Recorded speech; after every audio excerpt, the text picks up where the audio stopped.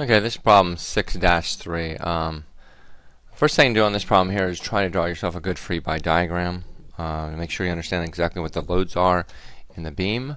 Um, we will go ahead and do that. So if I draw a free body diagram of the beam here, this would be A, B, and C.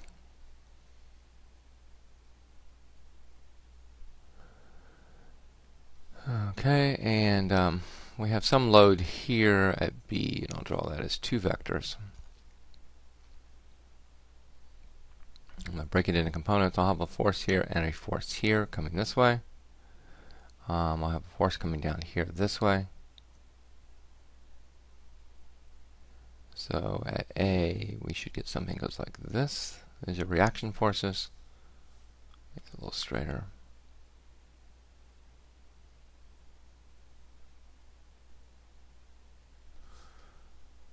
Okay, and um, then we're going to have some type of moment.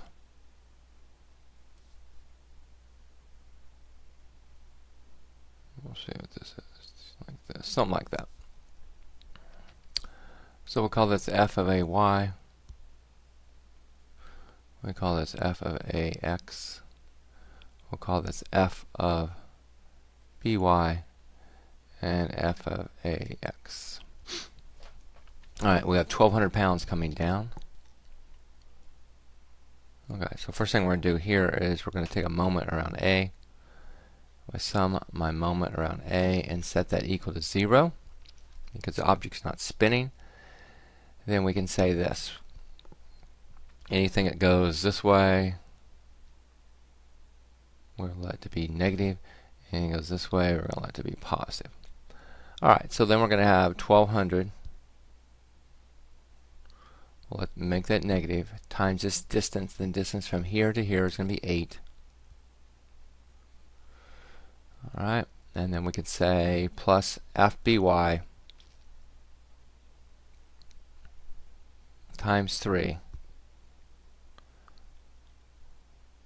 must be 0. Alright, so run that number right now. Um, 12, okay, let's right quick clear. All right, 1200 times 8 divided by 3 means that the the y component of b is equal to 3200 pounds and that's going up. Alright, the reason being, okay, now the F B, is that a B? Hang on, let me get better B. The FBX cannot create a moment around that, so we're not considering that. Now what's happening here, if we look this in regard this into um, what the actual force is in BY, then we can link it in this term. If this vector goes up like this, and it has a uh, horizontal and vertical component, we'll draw these, these are the components of that vector, like this, and we know this is 3200 and we know the ratio between here and here is going to be a 4 3 5 and we'll let this be FB then I can say FB times 4 over 5 which is really the cosine of this angle must equal to be 3200 you can do it like that if you choose to. Then you can say FB is going to be equal to times 5 divided by 4. It's going to be 4,000. Now you don't necessarily have to do this, but I'm just doing it anyway. So FB is going to equal to 4,000. Get rid of this real quick. Okay, and if you want to find out um, the x component, then all you have to do is here. When we sum the forces in the x, then what I can say would be the 4,000 times 3 fifths. I multiply this, which is 4,000, and I'll make this the x. Multiply that by the 3, 3 fifths. Then I'll get the Beck's component, so 4,000 times 3 divided by 5, 2,400. Okay, so when we sum these, then we can say FBX, which would be 2,400 to the right,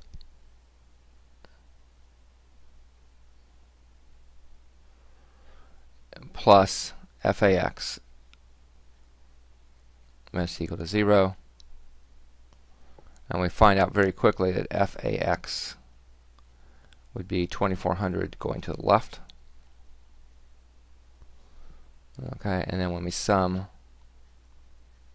forces into the y, then we'd get negative 1200 coming down plus the FBY, and when we did this, we, right here we know it's 3200. If I could write 3200, let me just change that.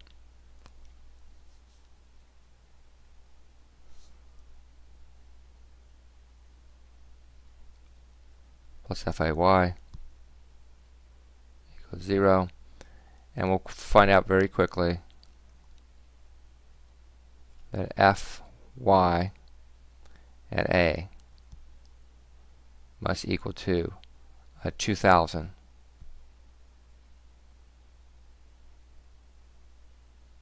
here and that must be going down.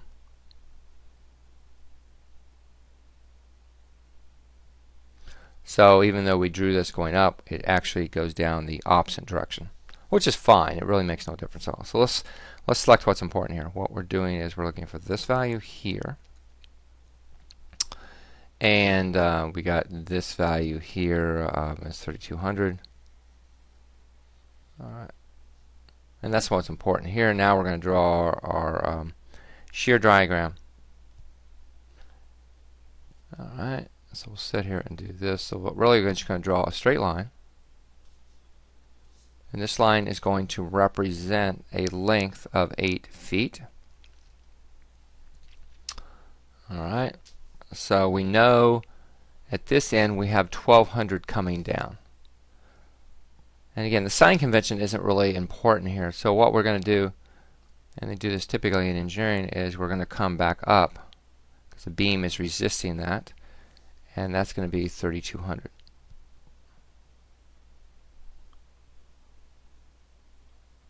Sorry, 12, 1200. I apologize. it'll be 1200 here. And all that means is we got 1200 coming down, so the beam has got to resist this as I move to the left, so I immediately go up 1200 here. Now it will stay that way. It'll stay that way until I get to this point right here. So what you can say is I'm going to let this point right here represent B. And typically what I usually do, and I think most uh, teachers do that, they draw, move this over here. They'll just draw themselves a horizontal line from the top of this all the way over till I get to right here. Okay, now I go 1200 all the way over, and I can put extra arrows in there if I want to. Makes no difference. I can put a bunch of those in there and say, this will be 1200 all the way over to here. All the way over here. Until I hit this point. At this point, I got to go down 3200. So if I go down 3200, 3200 minus um, 1200 is going to give me 2000 coming down, so I come down here. And now this will continue all the way over until I hit FAY, and then I'll go back to 0. And so what we can do is I draw this back to here. I draw myself a horizontal line like this. And again, you can draw some extra arrows in here. It makes no difference whatsoever.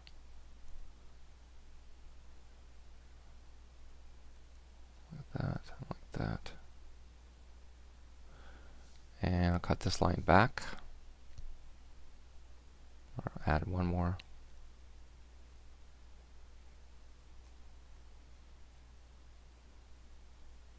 Okay, so this is 1200 here, all the way along here. We come down 3200, so this becomes negative 2000. And that is your shear diagram. Okay, the moment diagram is pretty easy. Usually you just drop it down and look directly below.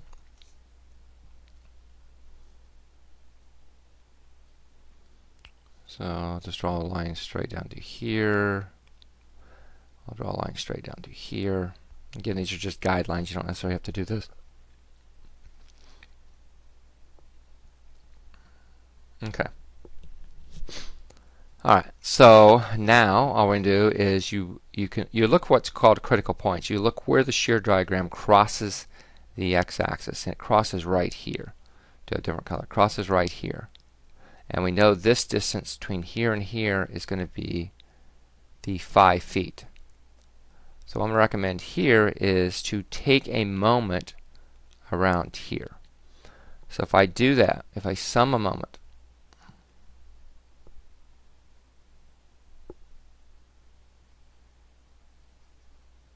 and that moment will be around the b value.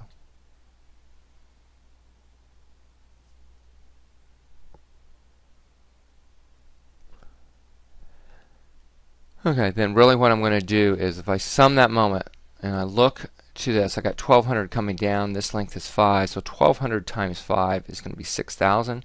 So I'll write that down. 1200 times 5 is going to give me 6,000. Alright, again, the sign convention is not necessarily important. So when we come down here, then what I'll do is I'll immediately come straight down and I'll make this dot represent the 6,000 here. So the way this is going to work, and I'll take these off because I've lined everything up, is I draw a line from here to this point.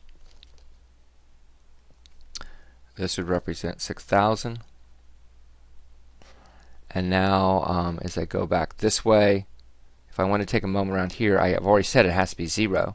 So this immediately has to go back. Like that. And that's your moment diagram.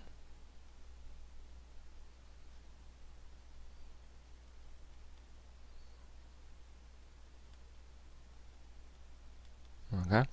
So the value of this would be if I want to find out what my maximum shear was in the beam or, or the maximum tension load due to the moment, if I was going to do the maximum tension load the moment, of the moment, I would look here, I'd analyze the beam at this point here because that's where the moment diagram is the max. Alright, shear diagram, I could find out what the shear force would be anywhere along here and along here. So if, if the beam is going to fail, it's going to fail somewhere along here because I got the shear of being 2000 and that has that'll give me the largest uh, shear stress. Alright, hope this helps.